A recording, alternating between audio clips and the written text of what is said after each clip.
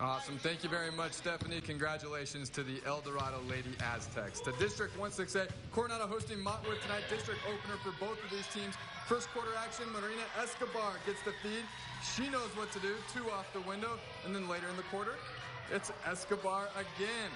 Going baseline for the bucket high off the glass.